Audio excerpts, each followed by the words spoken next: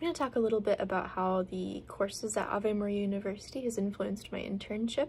They've been very applicable, um, particularly public speaking, and this is really essential to my day-to-day -day work, and that's because I teach programs and I also guide guests around the premises, and it's really essential that I apply these tasks because my job is public relations and guests' experience of the hike-in depends on me.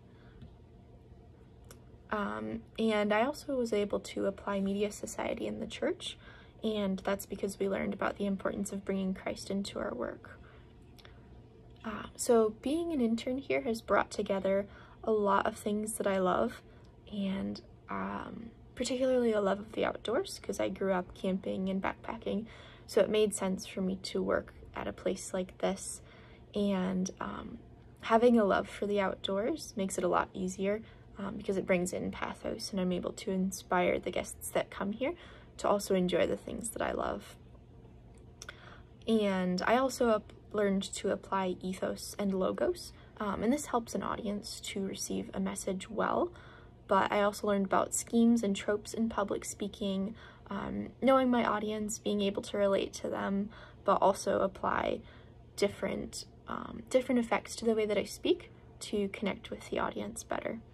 Um, and then proper volume and tone and a professional stance come into that as well. And um, converting a technological platform or um, converting a proposal to a technological program. Um, we covered a lot of those things as well, like, for example, not reading um, words off of a slide. And um, so the first thing that I learned was the importance of ethos, pathos, and logos. And this is because I lead a tour every single night, and so it's very important to keep those things in mind. And you can kind of tell, you can read an audience when they're zoning out or not interested in what you have when you what you have to say, um, and that's okay. That just means you have to adjust a little bit. Um, I also learned in public speaking not to just read off of a script, because that does sound pretty monotone, and people can tell when you're not really um, an expert about what you're talking about. So I did have to take some time to memorize all the facts, get to know it, walk around and give myself the tour. And that's because of the class that I took. And then I could tell guests were paying a lot more attention to what I had to say. Um, but Professor Hasso also said that it was okay to use a few note cards, um, which I, I do utilize, the, or I did at the beginning.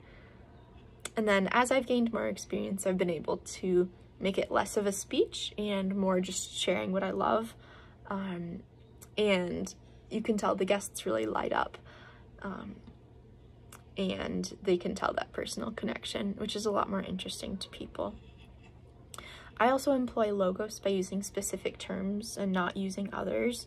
Um, so say we have a lot of different groups.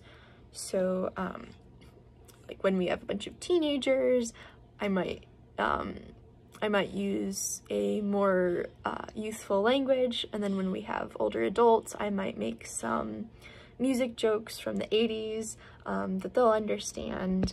And if we've got a bunch of little kids, I'll make it a little quicker so that they can pay attention.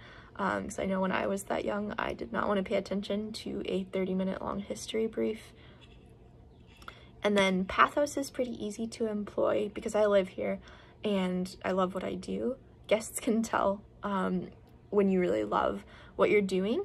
This is something that I learned in public speaking, and so I simply share that, and that makes, or that helps them have a good experience. And um, also using common, um, well, with tropes and schemes, um, a trope is a different significance of a word, and then a scheme is an unusual arrangement of words. Now, as I've gotten to know this job better, I've been able to have a little bit more creativity with how I talk and um, and apply those skills. And so with um, with Georgia guests, I'll use usually use um, Georgia locations um, just to get to know them a little bit better. And um, if they're local to the area, they understand what I'm talking about. But we have had guests that are not from Georgia. Um, like we had a group of women from the Middle East, so I kind of had to adjust my references. Um, and then um, using tropes to play on words and using puns. Humor is, is really great for helping people stay or pay attention. Um, and that's why it's really important to know your audience, uh, especially if you have a really or diverse group of, of demographics of people coming in. Um, and public relations, there's a lot of different challenges every day. Um, so you have to be a little creative and a little flexible. Something always goes wrong, and that's okay. you just gotta adjust as it comes.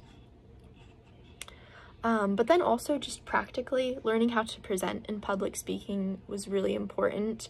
Um, having direct eye contact with my guests, um, moving around the room a little bit, using hand motions, volume, tone, um, being loud enough so that everyone can hear, not leaning on the podium, having a professional stance, bringing in a little humor, not reading off of the slide. Those are all things that I learned in public speaking. Um, that's possibly one of my most applicable classes to everyday real life. And um, also body language, which I guess I mentioned already.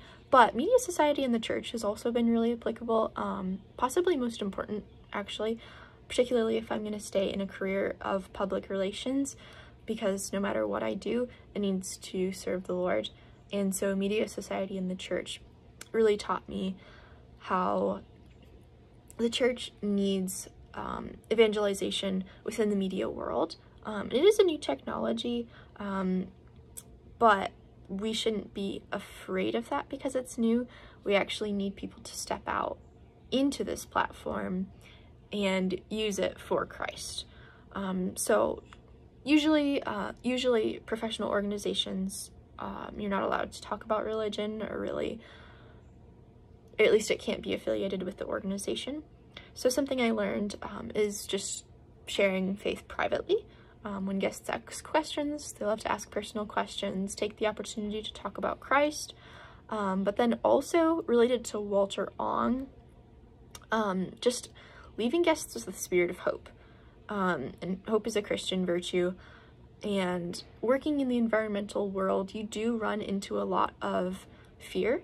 Um, and this is because of the use of media to show um, environmental collapse. And this, this has given rise to a lot of fear, which is from the devil, not, not from Jesus.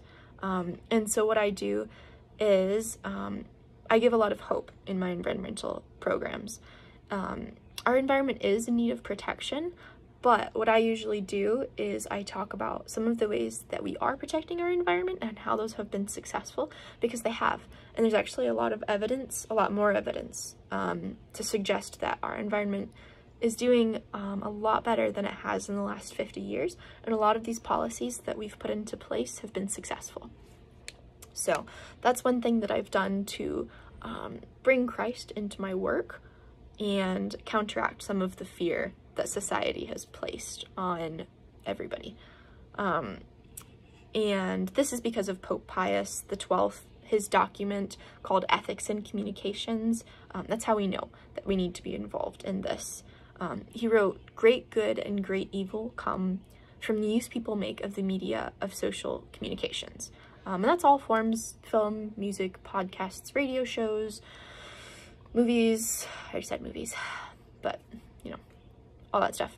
Um, and so that's why I kept in mind that idea um, in order to elevate man's dignity. Um, I also brought that into my blogs, which was required by this course, or the internship course, um, and talked about enjoying creation, rather than enjoying nature. Um, just word choice. But um, also sure to express gratitude and stewardship, which are Catholic virtues, while speaking to guests and encourage them to go out and enjoy our natural resources. Um, and this relates to the presence of the word. Walter Ong talked about there being an instance of states of confused um, excitement with disorganizing amounts of anxiety, fear, and hostility present. Um, he was talking about words. Words have a big effect. And that's why it's important to me to use words of hope, encouragement, and, um, and joy when I'm talking to my guests because I know the environment can be a touchy subject and I think it's often misdisplayed.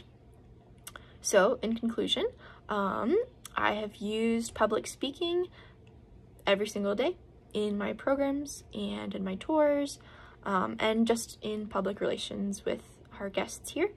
Um, I've also used the Class Media Society in the church for my mission here in communicating hope and encouragement and love. Um, and this is a really powerful tool in the media world, and I plan on using that uh, for the rest of my career. So I really appreciate both of those classes, and thanks for listening.